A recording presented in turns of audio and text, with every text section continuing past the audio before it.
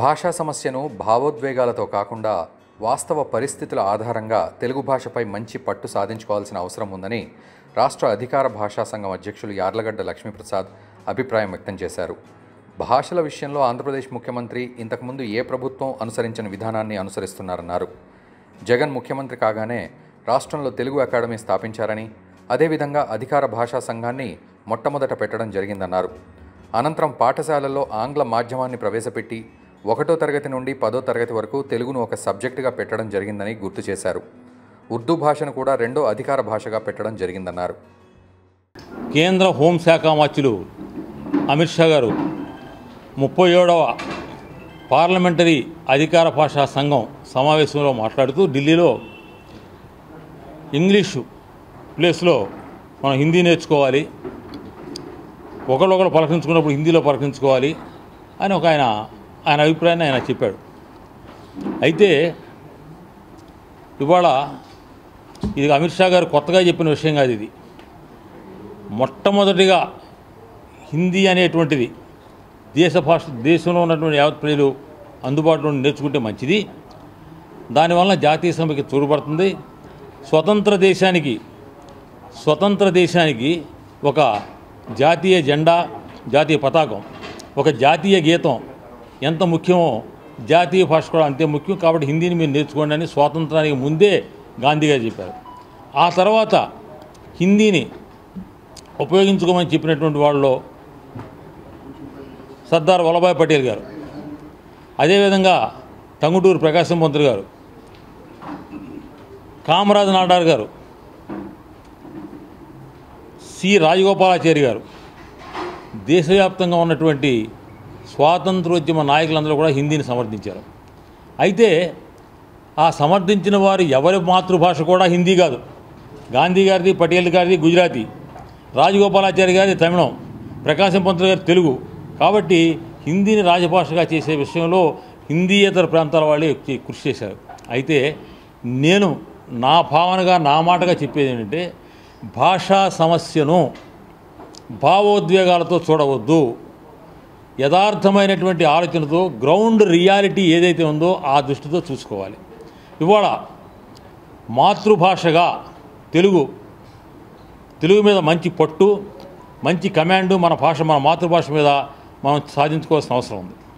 అదేవిధంగా వింధ్య పర్వతాలు దాటి ఏ రంగంలోనైనా సరే వింధ్య పర్వతాలు దాటి దేశంలో మూడో ఉన్నటువంటి ఉత్తరాదిని కానివ్వండి ఇటు బెంగాల్ కానివ్వండి ఇవన్నీ కూడా హిందీ అనేటువంటి దాన్ని లేకుండా అక్కడ మనం ఏమీ చేయలేని పరిస్థితి. అదేవిధంగా ఇంగ్లీష్ లేకుండా మనం దేశం బయటికి వెళ్ళే పరిస్థితి లేదు. కాబట్టి త్రిభాషా సూత్రం అనేటువంటిది మన పెద్దలు మనకి పెట్టారు. ఆ త్రిభాషా సూత్రాన్ని చిత్తశుద్ధితో పాటించినటువంటి దేశం భారతదేశం ఆంధ్రప్రదేశ్ రాష్ట్రం ముందు ప్రధానంగా భారతదేశంలో. ఇటువంటి నేపథ్యంలో భాషలు ఎవరైతే నేర్చుకుంటారో ఆ భాషలు నేర్చుకున్న వారికే ఉపయోగం తప్ప ఆ భాషకేమీ ఒరగదు. కాబట్టి మన కోసం మనం హిందీ కానివ్వండి తెలుగు కానివ్వండి ఇంగ్లీష్ కానివ్వండి ఏ ఏ మోతాదులో మన పిల్లలకు మనం నేర్పించాలో మనం నేర్పించాల్సినటువంటి అవసరం ఉంది. ఇవాళ ప్రతి చిన్నదానికి కూడా మనం అమెరికా వైపు తొంగి చూస్తూ ఉంటాం. ఆ అమెరికా వైపు చూసేటువంటి నేపథ్యంలో చాలా గొప్ప విషయం ఏంటంటే US department of state US department of state.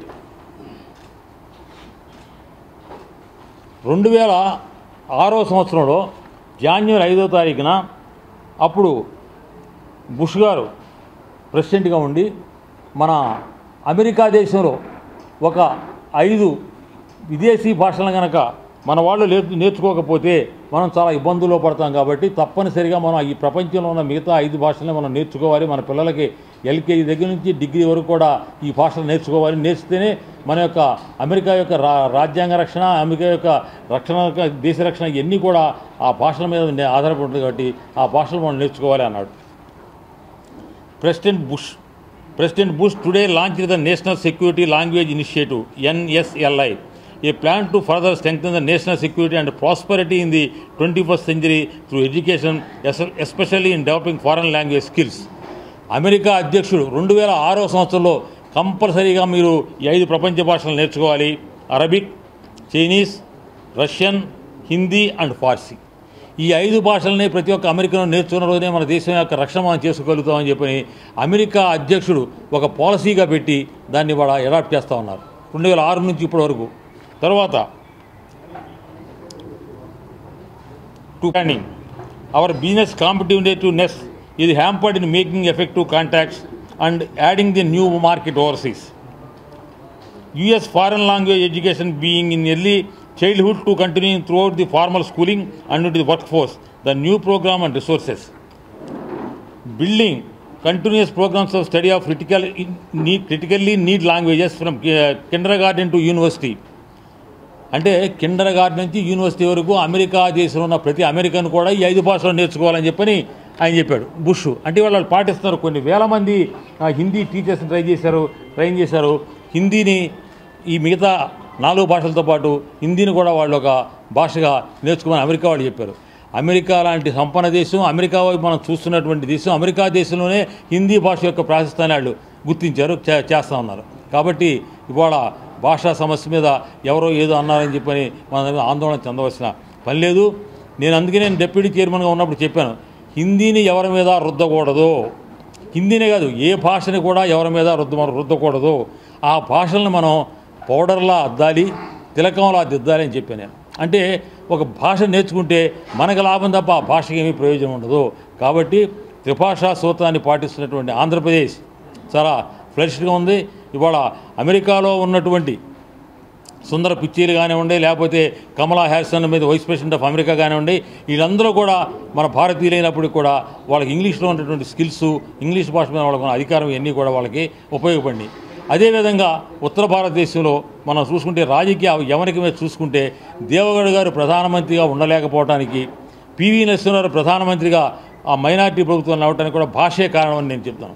మనం ఏ ప్రాంతానికి వెళ్తే ఆ ప్రాంత మాతృభాషలో మనం ప్రజలతో మాట్లాడతామో వాళ్ళు మనతో మమేకం అవుతారు వాళ్ళు మన హృదయానికి హత్తుకుంటారు మనం చెప్పిన విషయాన్ని స్వీకరిస్తారు. ఈ విషయంలో ఈ భాషల విషయంలో జగన్మోహన్ రెడ్డి గారి ప్రభుత్వం ముఖ్యమంత్రి జగన్మోహన్ రెడ్డి గారు ఇంతకుముందు ఏ ముఖ్యమంత్రి కూడా చేయనటువంటి విధానాన్ని పాలసీని ఆయన అవలంబిస్తున్నారు జగన్మోహన్ రెడ్డి గారు. దానికి ఉదాహరణలు ఏంటంటే ఆయన ముఖ్యమంత్రి కాగానే మన రాష్ట్రంలో తెలుగు అకాడమీ ఉమ్మడి జాబితాలో ఉంది హైదరాబాద్లో ఉంది మనం లేకపోతే ఎట్లాగని చెప్పి ఆయన తెలుగు అకాడమీని ప్రారంభించారు.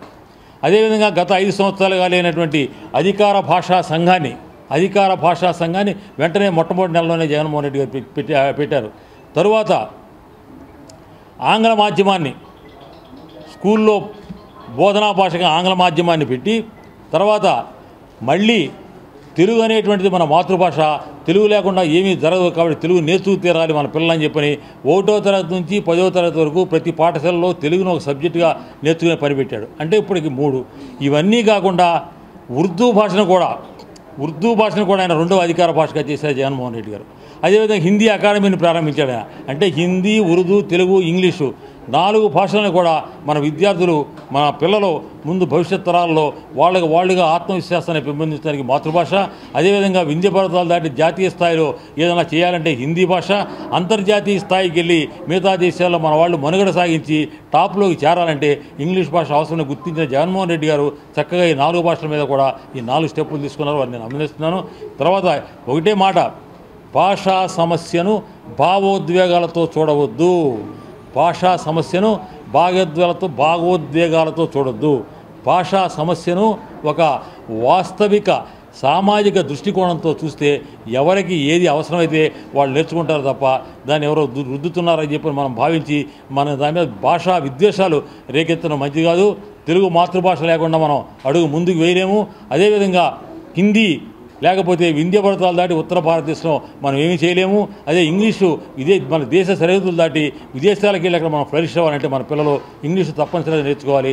కాబట్టి ఈ త్రిభాషా సూత్రాన్ని నూటికి నూరు పాళ్ళు పాలిస్తున్నటువంటి రాష్ట్రంగా మన రాష్ట్రంలో మనకి మన పిల్లలందరికీ ఎంతో ఉపయోగపడుతుందని మనం చేస్తూ భాషా సమస్యను భావోద్వేగాలతో చూడొద్దు. కేవలం అవసరాలకి బ్రతుకు ఇవాళ భాష అనేది బ్రతుకు తెరువుకు ఆలంబనంగా మారినప్పుడు బ్రతుకు తెరువు బాగుండాలంటే ఎప్పుడు ఏ భాష అవసరమో ఆ భాష నేర్చుకునేటువంటి స్వేచ్ఛా స్వాతంత్రాలు మనందరికీ ఉన్నాయి. కాబట్టి ఎవరో మన మీద ఏదో హిందీ భాషను రుద్దుతున్నారనో ఇంకేదో భాషను రుద్దుతున్నారనో మనమేమీ బాధపడవలసిన పని లేదు.